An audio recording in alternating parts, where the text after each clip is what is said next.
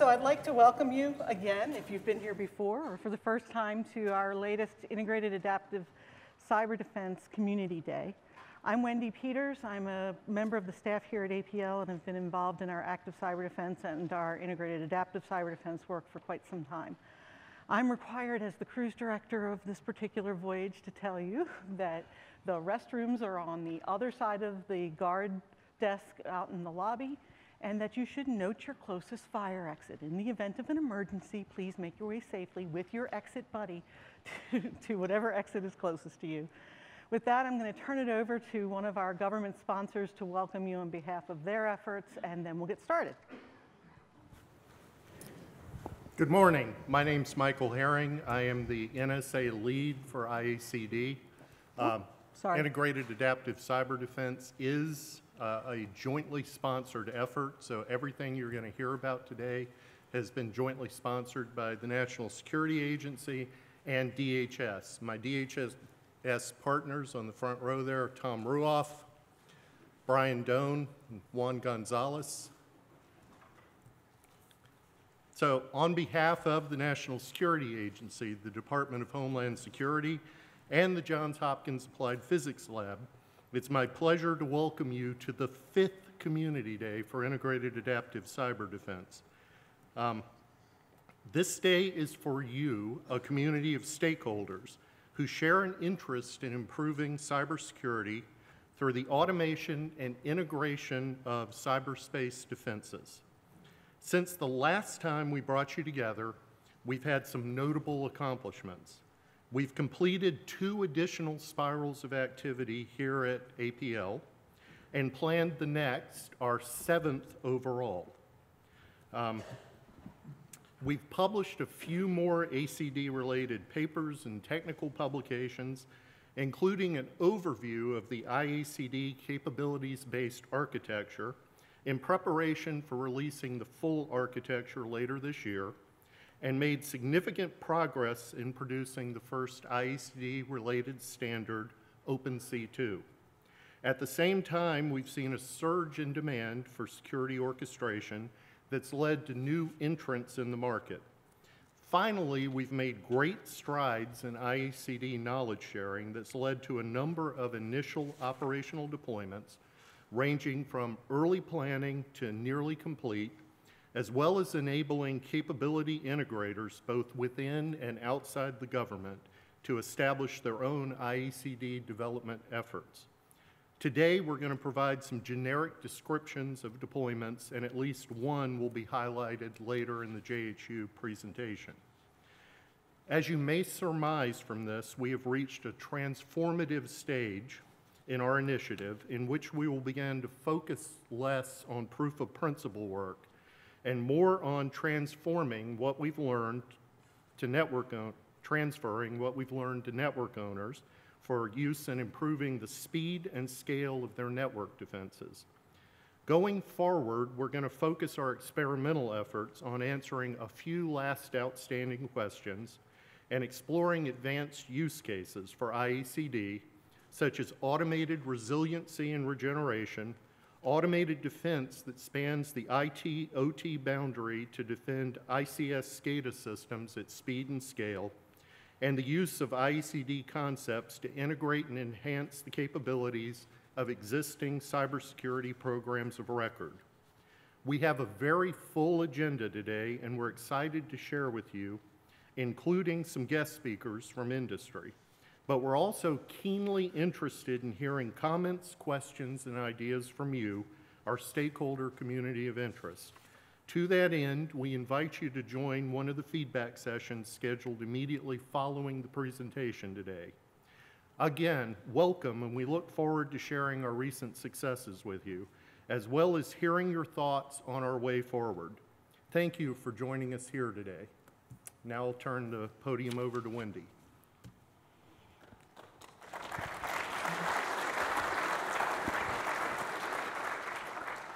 So you should, should all be very impressed with my organizational skills. I messed up the order in the first four slides.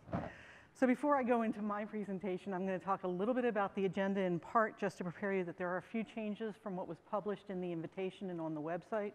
Most of them aren't that obvious to you. Um, There had been plans for a couple of my colleagues here at APL to present certain sections, and due to illness and family emergencies, you got a lot more me, so I'm sure you're thrilled. However, our technical team is going to do some demonstrations, and that'll give you a break from this. Um, In addition, um, our panel members, we had planned to have a panel in here talking about security and trust issues. Trust issues, that's great. Uh, I have trust issues. Security and trust with regards to integration and automation. Um, a couple of them also could not make it. So Harley Parks, who is the lead of our systems development effort, who was going to be on the panel anyway, is going to lead a facilitated discussion, but we're actively looking for a back and forth with the audience. Um, but we're not going to line you up here in front of the room. I think, and then one of the people that's representing uh, FireEye had to send someone else, and they'll be talking in a little bit. But pretty much we're sticking to the same flow. Now we can go to where I should have had the agenda. So I'm going to spend some time giving you a little bit of background and overview of what we've done before. If you've been to these, I'm trying hard to balance the what you've seen coming to previous events versus what's new, but also give an introduction for those who haven't been part of the conversation till now. Um, there's no way that I could name everybody on the team individually that's had a hand in this work, but it's an amazing team. Part of what some people might not be aware of is that APL has blended its teams working Um, the automated indicator sharing and information sharing work down at DHS with the IACD work so that we can start to pursue what had already been planned, which is a tight coupling between information sharing at machine speed and the ability to use that shared information to trigger cyber defense mechanisms.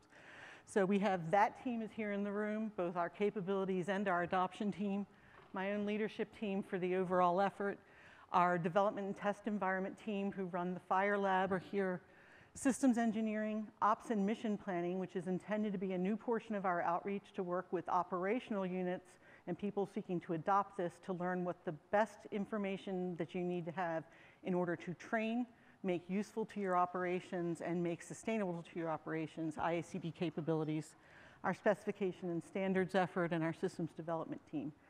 Different people will be called out at different times, and during our breakout sessions, some of them will be you know, signaling to you that if you want to talk about technology, go over here. If you want to talk about getting involved in one of the demonstrations, come over there. Um, but in general, if you're looking for additional information, this goes to several of our team leads, and then we will sort it out according to what your inquiry is.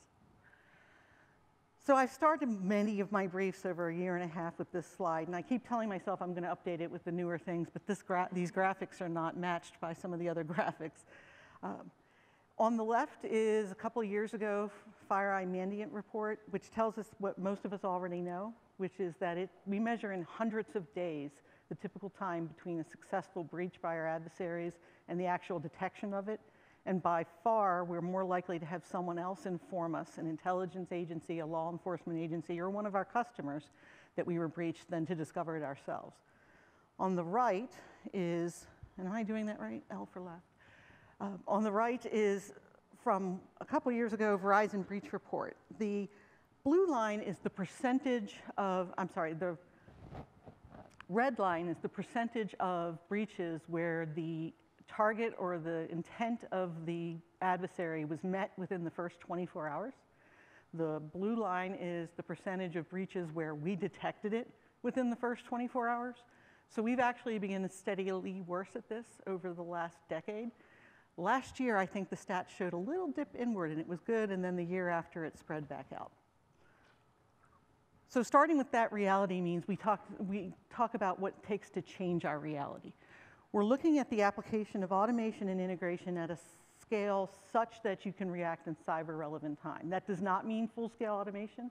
It does not mean that um, everything needs to be dealt with in milliseconds, but it does say I want to change the game and talk about the ability to do that.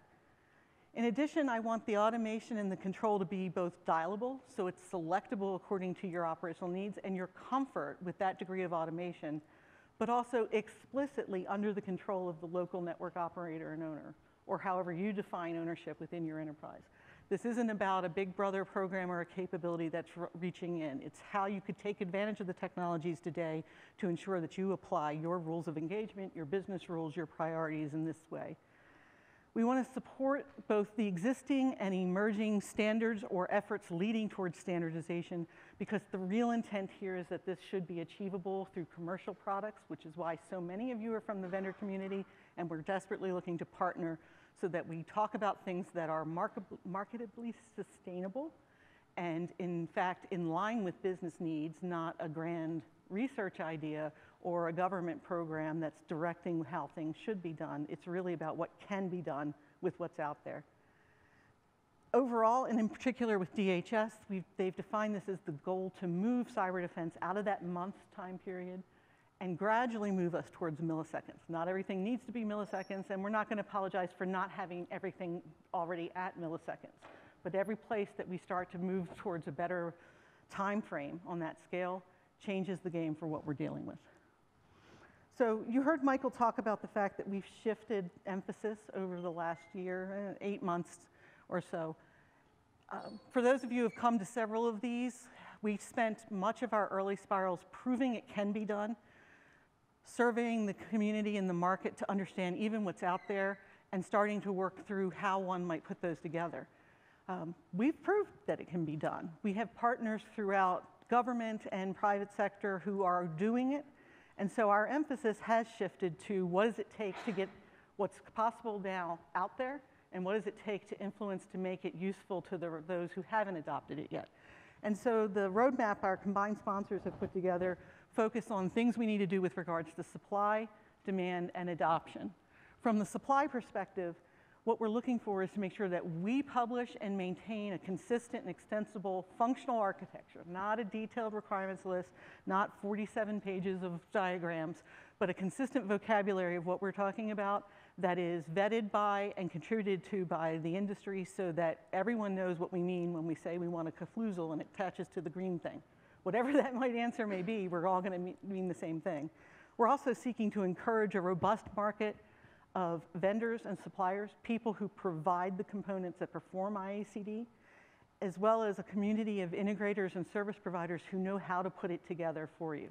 So this needs to not be a top-down program, it needs to not be a government-directed program, but an effort that is out there that's supportable so that you can find a place that can help you put it in, into position.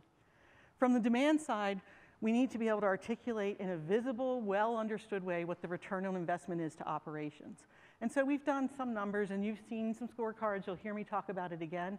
But the real point in our partnership with the pilot organizations and the outside organizations is to A, better understand what they actually define as good or success or improvement, and B, start to find out whether we're really meeting that mark or whether we need to change things or recommend certain capabilities be put in place in order to meet that mark. We also are looking to engage with active user communities or facilitate active user communities so that we can start talking. What does it mean to share a playbook or share defenses? What does it mean to talk about training an organization to use this? And what if I lose that person and they go somewhere else? Am I going to be able to train the next one? Um, and we need to make sure that we're facilitating the availability of these capabilities at a variety of cost and complexity levels. Uh, if you've got a multi-million dollar security budget, well, that's great, and thank goodness. But if your Skippy the intern doubles your staff on your security ops team every summer, you still need to be able to take advantage of this in some way. And then from an adoption point of view, we are really looking at what does it mean to be repeatable and trainable, as well as what does it mean to sustain this capability and not turn this into an operations and maintenance nightmare where you're constantly refreshing things that you otherwise would not have to do. So all of that are the challenges that the government has placed before us and that we together are placing for the, before the community saying, it's not so much proving to you anymore that we can do automation. It's saying, what do we need to do about how we specify the automation, how we talk about how you use these products in order to make these a better reality. So we'll see how we've done. Um, at its core, if you've seen this all before, IACD is based on an idea of applying sensing, sense-making, decision-making, and acting in an automated and integrated way to change our timeline and change our effectiveness. It has always been meant to be and has always continued to be spoken about as informed by and informing information sharing and shared situational awareness, why which is why it's been so important for us to bring our information sharing teams together with our IACD teams. We are not in the job to tell you what the best of breed of something is. We're not doing a trade off of the best IDS or the best host endpoint management capability. At its core, our idea is that you bring your own enterprise, BYOE. Um, I'm not going to talk about how you need to add something, but whatever you bring to the table, I need to be able to talk about what are the services, components, products that you need in order to piece together what you have. Two relatively inexpensive defense mechanisms or the most sophisticated detection mechanisms in the world that you've paid tons of money for and you have a multi-dozen person staff running. Whatever that reality is, we want to talk about, as I like to say, the tree, not the ornaments. I want you to be able to switch on and off whatever things that you want to plug in, but I also want to be able to talk about how you could switch out the trees. Because we're not looking to change where you're vendor locked. If you're vendor locked into certain defense capabilities right now, me telling you, great, you could be vendor locked into an, an integration capability, so now you can plug and play those, but you're tied here. Um, and no offense to our wonderful partners who provide those services, but the real goal is to come up with standards that allow you to have that freedom. So IACD success from our perspective does look like what I've talked a lot about, which is the intra-enterprise, the ability to integrate and automate across sense-making, decision-making, and acting, but it's not sufficient. We also assume that there's a set of trusted information sharing mechanisms or components that are available so that enterprises that are equipped with IACD capabilities are able to be stimulated by outside information and able to share with communities of trust what they've learned um, which is why, you know, so you can talk about that as being the AIS program that has stood up. It can be being a member of an ISAO or an ISAC that employs machine speed information sharing. There are dozens of mechanisms and communities that are emerging to do that, but a necessary part of successful ecosystem includes the ability to hook up to those and the existence of them. And then there's a set of, the construct of a set of trusted cyber services, which we're really just starting to match against. Some of them are easier to understand the idea that you might want to make, be able to access consistently reputation sources or scoring, um, and you want to be able to plug and play which one of those services or feeds you're able to put in, or you want to be able to, to dial your own levels for that. But we also anticipate that there are other top level services that we're really sort of just beginning to identify. Our next spiral, which focuses on trust components, might very well elicit some of those because one can imagine the machine level identity equivalent of identity management services needing to be put in place in order for you to manage command and control at net speed. So what we've built out over the last year, the architecture that Michael um, spoke about, can be represented at, at, this very top level by our functional model. So those ornaments on the tree are in this blue box. We've spent a significant amount of time describing what the services would need to be in order to move from sensing components through acting and what kind of orchestration capability or ma overall management of those services would need to exist in order to, uh, put, to put into place the automation capabilities. In addition, there are corresponding information or content feeds that go hand in hand with this. I can't talk about something that issues response actions if I don't have a consistent way to define what a response action is and how vendors could follow that in order to have theirs plug and play as well. We've always assumed that there's an underlying infrastructure. This, is, this can be a logical separation. It's perfectly reasonable to have your command and control messages and your data messages traveling over the same plane. However, there are going to be places where security or uh, volume or any number of other reasons would drive you to want to have a separated plane for command and control versus a data plane. And we're working through what the definition of that is. We've consistently told our partners we're not interested in a new plane of glass. So this is not at all about saying what is your best dashboard, but we do expect that you have plugs that you can plug into any one of the number of SIMs or dashboards or management capabilities that our operations personnel routinely rely on. And then our biggest challenge is what does the both the traditional security stack, the things we think about in security, but also the things that we're just beginning to talk about, confidence management levels, trust in the authenticity of the command as much as the accuracy or the authorization of this, the issuer of the command. That's the component we've talked about. So the more broken out architecture that Michael referred to, the things that are starting to be published, all drive back to this model. And we've also spent some time saying that's great, but each of us, I just said everyone could bring their own enterprise and roll their own. So if each of you have a different IACD enabled enterprise putting together in a certain way, we've also been getting to talk about what does it look like to mesh those together.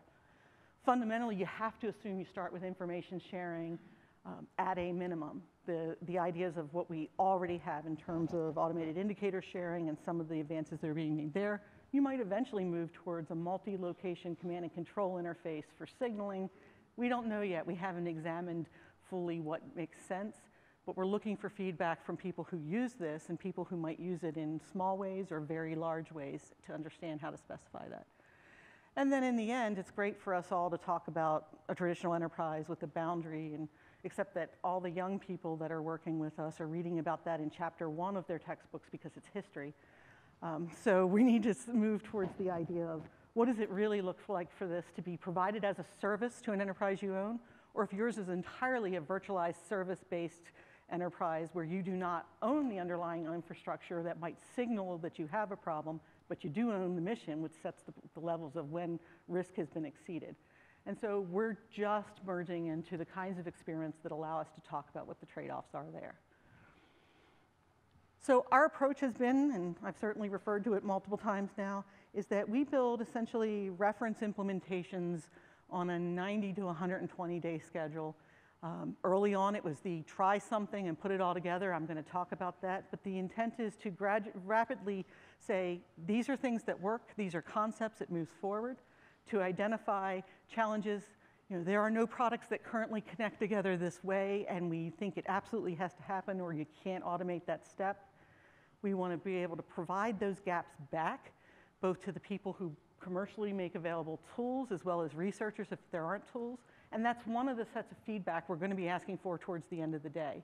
Um, we've done a fairly good job with people who are already partnered with us in some of our earlier demonstrations of consistently sharing, here's what we've learned about orchestration. Um, we need to find a more effective measure of getting that out to companies and components that aren't involved in the demonstrations, but definitely offer those services. And so that's part of how we're going to be looking to engage is what's the most effective means to do that. And then all of this has been to gather requirements, or requirements may be too strong a word, gather the common specifications such that if standardization is the right route, and I don't know if it is, but if standardization is the right route, we've captured a consistent set of specifications that people can build to. So I'm supposed to give you a little bit of background of what we've done to date, and I'm trying desperately to make sure I get us either ahead of schedule or on schedule. Um, if you've seen this before, I'm going to go into a summary. I'm not going to go into to any depth here. However, if you do have specific questions about any one of the spirals, um, you're certainly free to raise your hand and, and, I'm happy to take questions, but amongst the things that we will be available for at the breakout sessions is to talk in depth a little bit more about previous spirals if you want to hear more. Um, so even though I didn't go to business school, I've been taught that I'm supposed to tell you what I'm going to tell you, then tell you, then tell you afterwards what I told you. So I'm going to tell you that there were multiple spirals and that we just approach each of those with a certain theme if you've gone to enough of these, you'll notice that sometimes my description of what the theme is, say, of spiral two, is different than if you were at spiral one and you heard me say, the upcoming theme is going to be this. Because the whole point is that we discover things, and sometimes we go down a path and realize what we thought we were looking at is pretty much um, trivial. However, what we really need to go after is a different area. But these are our consistent themes. Um, for each one of those, we have combined a series of different integrations of, for the most part, commercial technologies. Our early spirals, some of it had to be hand jammed, some of it had to be our own creation. But our steady progressive goal has been that there is almost nothing that we're coding, and for the most part, we're applying configuration settings. Um, through Spiral 5, these are the components we've worked to. If you've been here before, or if your company's on this, I have in fact re reorganized the page. So, you know, you're still there, but look for yourself. It's like finding Waldo. Um, and we have consistently seen, demonstrated, or observed a set of gains. Our capacity for how many events we're able to manage or mitigate in a certain time frame continues to go up. Our timelines for how quickly we can respond to things have consistently gone down. Our flexibility, in other words, of how much we can plug and play, has improved dramatically, and I have another graphic for, about that towards the end. And the type of complexity of scenarios and the interplay of multiple um, automation paths has continued to increase. These are the gains we've seen. So I'm telling you what I'm going to tell you. Let me talk a little bit about what we've done. Every spiral begins with a set of driving questions. If you have anyone, a child between fourth grade and eighth grade, first semester, first month of science is always about the scientific method. We start with a basic hypothesis and we run somewhat of an experiment. Um, and if it turns out that it doesn't work, well, that's as important as finding out that it did work. But for us, it's the can I do the following things? What could I do to do the following things? For Spiral Zero, we essentially, it was our baselining. We had to um, see if could we do integration and automation using largely commercial products and could we baseline at least some operational experience so that we refer, if we refer back to things, we're able to give us a consistent reference point. Um, every one of our spirals, I'll talk through a little mall map of what we did. In this particular case, we did a very simple uh, workflow. We focused on automatic enrichment of a triggering event. So something happens and I go to automatically to a variety of other sources to get the most combined information about that event in order to make a decision. We made a coarse level decision. That early decision was literally so bad we should stop it, so obviously good I can let it go, and everything in between is phone a friend, call a human, let someone know.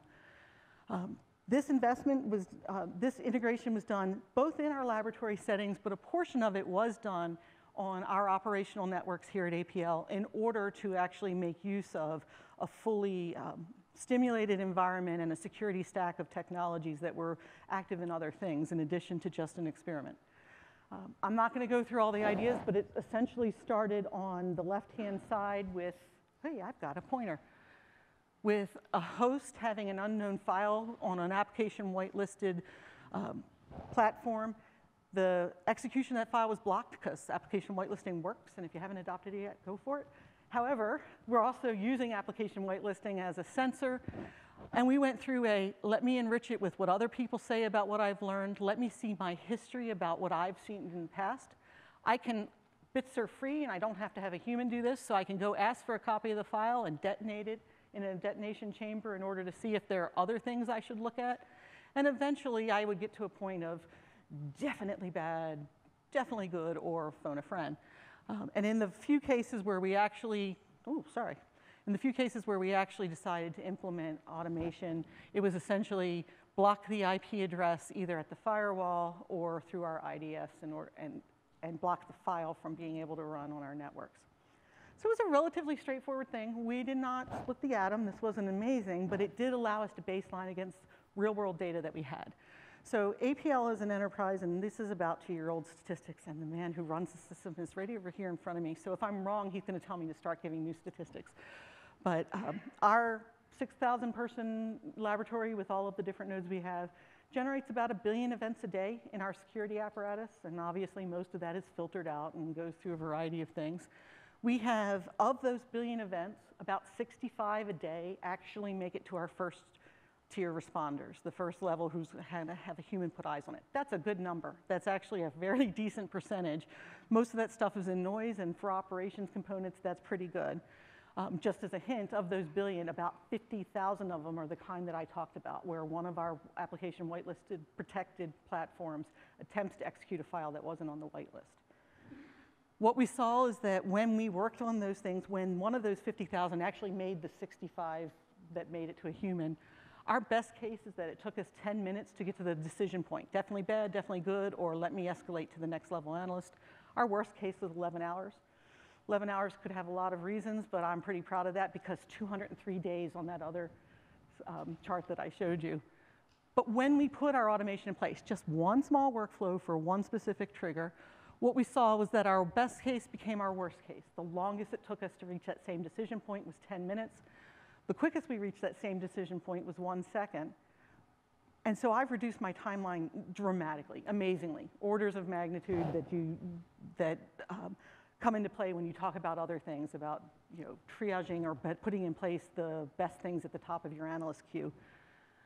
But more importantly, I no longer have to talk about, am I lucky enough that one of those 65 are these 50,000? I was able to, with a single sandboxing device, um, handle anywhere from 24 to 96 of those simultaneously. So I could scale fairly effectively with, and fairly inexpensively to do all of those 50,000 or a huge amount of those 50,000 with no additional analyst hours at all. And for a very small portion of those, we said, look, we are in fact prepared to say, block that IP address, update the firewall. And it took us about an additional 30 to 60 seconds to act in order to do that. And our, so our comparison was we saved in terms of capacity, we saved in terms of um, time, and we saved in terms of operator hours. So our next spiral was, all right, can we do it all again, but do it for a variety of, of, of ornaments and a variety of trees? Um, and can we de- demonstrate how important and effective the interplay of multiple organizations using information sharing and automated information sharing would be in order to trigger different parts of your communities to protect themselves? And then could we highlight the dialable level of automation construct? So in that case, we did exactly what you saw me describe there. But we built several other enterprises with different orchestration components. Some of them had IDSs or of different ilks. Some of them had detonation, some of them did not. They would depend on their partner to have done this. But the whole point was that one, I have absolutely no idea what I just did. Sorry. Let's hope it just stays there. You have no idea how our day is going, guys, since 5:30 this morning, but that's, you're pretty lucky the lights came back on. Um, so one of them was fully automated. The other said, you know what? I'm going to expect a human in the loop or on the loop for the whole time. So give me all the information to help the human make a decision, but I'm going to click go. I'm not going to take you through all the details here, but basically we ranged everything from exactly the ornaments that you heard described before to an enterprise that's using essentially open source or relatively inexpensive or components that come with Microsoft licenses in order to do very similar things. And they have a human in the loop. And NSA helped us build out an HBSS equipped environment so that we would reflect what was currently available on DoD networks. Our results there were comparing apples to apples, comparing the previous spiral, the same sort of idea of from the time I receive an indicator to the point that I decide and then I defend myself. I'm keeping to anywhere from the second that I've seen. Instead of 10 minutes, I'm talking eight minutes. We got a little better at tuning. But obviously, that's up to you and how you, long you wish to dwell or how many different enrichments that you want to make. It took me at most an extra minute total, but I'm able to start that in parallel to craft a warning, craft a STIX formatted message to warn my partners. And then from there, my partners were able to process my message, make a decision whether or not it applies to them and I should have, have it defend my network in less than a minute if it's fully automated, and then anywhere from a minute to 45 minutes. And I'm using 45 minutes as the average for an analyst to handle a ticket. Your mileage may vary, but we are definitely talking about minutes instead of months now. Our next spiral focused on really focused on the decision-making complexity. So we didn't spend as much time saying, what are all the triggering events? I'm not trying to get the best malware to force a certain condition on my detection mechanisms. And it's not so much about how I implement responses, but I do need to know what responses are available to me. What I really want to know is, can I make the environment so complex that we start to reflect decisions that aren't really, really bad, really, really good, and everything else I don't know? In this case, we wanted to have decision scenarios that were forced by local conditions. Are you at risk or not? Do you have operational critical activity occurring on the platform in question or not? And we wanted to explore if you had all that complexity, but you also add the volume and number of indicators that we're talking about our communities beginning to adapt to. The idea of automated information sharing, in theory, is a great idea. Great, I'm now going to have a thousand times more information for my same analyst staff to handle um, so we wanted to say, could we maintain the timelines we had, but do it in the face of a large influx of significantly more information? And could we talk about what it means to pre-approve a select set of things for automation, but keep a human in the loop option for a lot of things? And what does it mean to change those levels? So those were our driving questions. We went through a whole set of decision complexity in terms of what type of indicator is it and who sent it to me? How much do I trust you? Are you usually good for stuff? You not so much, but you I'm required by law to listen to, so I have to read it even though we know it doesn't work. And being able to apply that kind of decisions. What's the reputation sources I have available to me to double check your thinking on whether or not I should take action on that? And how much quality and, and confidence do I place in each one of those? What's my own history? Has this worked before? Did it not work before? Did I get in trouble before? What's my risk posture? Is it about a vulnerability that I only have running on one machine off in a corner? Or is it about something that is targeting my most mission critical machine, which goes hand in hand with my most critical machine being targeted could be really, really important to me. However, if the only mitigation I have available is to take that offline, the impact of taking something out of ops may be worse than the impact of, of letting the risk go through. And then ultimately, what's available to me in order to, to take action. If I only have a screwdriver and a hammer, there's no point in talking about complex quarantine redirection into virtualized honeypots. That's all nice and good, but if you basically can stop it or let it through, you change what your decision properties might be. So this environment was really all about flooding with indicators. We used um, STIX formatted indicators in a, in a feed that approximates what an AIS feed would look like. But we also, as a defense industrial base member, a DIB member, flooded it with indicators that come in typical DIB format. And the whole point was to go through a flow where you have a significantly larger, more expansive set of reputation sources, all of with their own weights and triggers involved. You also started looking at the net flow itself, as well as the configuration and operational status of your host environments so that you know what's active, what's patched, what's not patched, what mission criticality you've placed to different operations. And we put in place what's available to me. Should I act was the most important decision to be made. So it wasn't the decision of what action to take, but should I act and which order should I act and what's the priority was the focus we had. Um, what we saw for that is that we were able to flood our system with anywhere from 10 to 100 times the volume of indicators we typically receive, and we kept the timelines that you've seen before. So we have a more complex decision-making process, uh, doing hundreds more of what we've typically had, and we're still keeping the timelines on a per indicator basis. And in addition, the, what I found most interesting, we set really stringent criteria only the most egregious risk with the lowest regret. So something that's really, really bad, and if I take action, I either don't have anything running that right now, or it, it is the volleyball league scores on the side server in the DMZ or something. Only those were pre-approved for automation. Everything else had to go into a ticket where the operator would be told, we think you should block this, but they would click it. Um, and even though we set that criteria, over 70% of what we were receiving is largely stuff that we would filter out as high risk, low regret, you might as well handle it. And that confirms what a lot of people anecdotally talk about is that they think a lot of their feeds aren't actually giving them stuff that keep them up at night, but since they don't know which one is the one, then they spend a lot of time sorting through those. Our spiral after that was focused on getting inside the kill chain. So most of the other ones we had demonstrated and fed things that were about indicators or things that warned you, but you weren't necessarily under attack right at that moment. Our following spiral said, all right, we're gonna go spy versus spy. We're going to attack with a specific target in mind, the enterprise we've emulated, and have our orchestrated mechanisms sort of head to head up against those and see what happens. Can we get inside their kill chain timeline? Can we get left of boom? Are we able to drive a decision where multiple threads and events, which might look like any one automated thread, but it's the accumulation of those that actually tips the scales and we say we have to take action?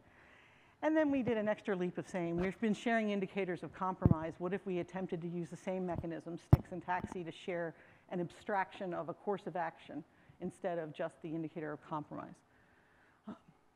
In that case, as I just mentioned, we had a variety of threads that were triggering um, that were being watched by orchestration mechanism, and it's the pattern of events that led them to decide to take action. But in addition, they abstracted it out and said, okay, I've, I learned a lesson. This is my whole thing with teenagers. You'd love it if they would just learn from your mistakes so that you don't have to do it again. Instead of them having to go out and make the same mistake, I can package up the lesson. When this happened, this happened, and this happened, I had to wait for all three things to happen to realize I was under attack and now I, then I took action. I'm warning you, if you see these three early indicators, put them together, you should just block it before you have to learn the hard way. We used a modified version of the STIX structure in order to send it to other, another enterprise. and then attacked another enterprise in a similar way, but not identically. This isn't about signature sharing. This was about behaviors being similar in terms of our attackers, not the actual attack itself. Um, what we saw, what we put in place is an enterprise that was, I'm not going to hit the button where everything goes off, an enterprise that was focused on doing exactly what I just described, and then an enterprise that needed to say, yes, I will accept the lesson that's learned. I'm going to put the lesson into my orchestration component. And then we attacked that and saw a different outcome. With the one that was learning first, the one who's learning how to fish so they can teach you how to fish, um, our adversary kill chain was about three and a half minutes consistently. We knew we could go from clicking on a spearphishing email through infiltration, escalation of privileges, lateral movement, and exfiltration off of a mission critical machine in three and a half minutes. No one's surprised by that, but that was the attack vector we were using. Um, we needed to see if our environment could beat that. You needed to be able to detect it was happening. And we did. We were consistently getting within three minutes. But understand this critically. Um, you can't compare this to the, well, what about where you detected things in a second or you did it in less than a minute earlier? Keep in mind, it had to be this behavior and this behavior and this behavior and this behavior and this behavior. And the additive of all of those occurring is what it took to tip the scale. So you can't change dramatically sort of the first instance of learning how to defend against this because you needed to wait. Your orchestrator needed to see that whole set of patterns. But if I'm able to then say, hey, I've learned a lesson, you only have to hear the first three notes of the song in order to make a decision. What we saw in our other enterprise is that once we warned them about those first three notes, when the adversary was early in their chain, they were able to block it before they even got a complete foothold on the initial point of infiltration. So they weren't able to escalate privileges, they weren't able to laterally move. And so we saw a dramatic effect out of that. Our spiral four, and some of you were involved in this, took a different turn. We have spirals that were very much about proving something. This is where we got into, all right, if we're really gonna seriously start getting into the idea of standardization and modularization so that you could plug and play, then what's the right level of abstraction? How deep or, or far out from the different messages that these components interchange do we need to go so that it's feasible for multiple members of the industry to preserve their own IP, to preserve what they have as a discriminating factor, but to, to maintain at that level of specification so they can interoperate. And so what we focused is we came back to basics, our first spiral, our first workflow, but implemented it with multiple orchestrators and separated multiple control messages and control message channels so that we could see how readily and what level we would need to abstract and how easy it was to interchange those. Um, our enterprise switch out from one to the other, we were able to do that in a matter of days. It's not automatic. It's not like you export from Invotas and you hit import on Phantom and everything runs JS. Um, but we are talking about days, not months, not the typical 18 months it takes for us to do a large-scale architectural refresh in a typical government program. Um, but we also said we now know sort of the level of common interface that needs to be abstracted, which is enough for us to do the action, but doesn't need to get into the knickers of everybody who's customizing how they do a particular component. Um, and this really comes down to how much risk is there to being an early adopter. Um, you, the big fear is, great, I don't want to be the first one that tries to do this because what if you guys go in a different direction? What if all the vendors then start doing this? So we said, is this a you bought a beta instead of a VHS, well, that's bad.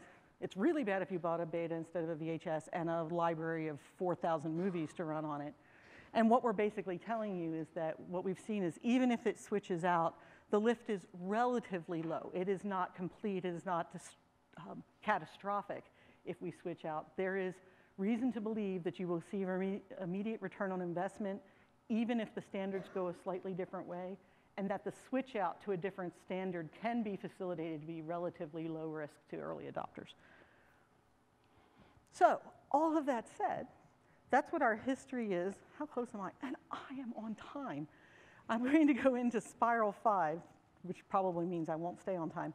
Um, but if you have any like burning, you can't stop yourself questions about this, feel free to ask them now. Otherwise, I'm going to designate some of our team and they will be available to talk about the previous spirals. Somebody just on the edge of their seat? Okay.